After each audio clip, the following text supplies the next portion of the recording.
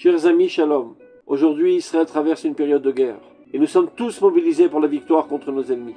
Nos enfants bien-aimés se battent en première ligne avec le courage et la détermination de Lyon pour sauver notre nation, notre terre et notre État.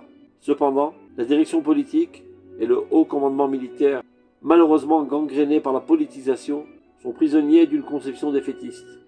Mais nous devons nous lever et renforcer la résilience nationale. Une initiative, baptisée Israël 3.0, est en train de naître pour réformer nos systèmes de gouvernance. Notre peuple, majoritairement doté d'une grande santé morale, doit devenir maître de son destin. Il est inacceptable que des élites non élues prennent les rênes et décident pour nous de manière antidémocratique. Si vous croyez en la possibilité du changement, alors agissez. Rejoignez-nous pour une réunion Zoom lundi prochain, le 24 juin, à 20h30. Ensemble, nous pouvons transformer notre nation. Ensemble, nous ferons entendre notre voix. Ensemble, nous gagnerons cette bataille pour l'avenir d'Israël. Je compte sur votre participation. Amitié, Yosef Ben Shushan.